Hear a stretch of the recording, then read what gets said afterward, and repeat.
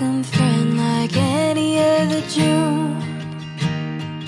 Looking for an honesty I couldn't find in nobody. Love to bring home with me. Then summer gave me.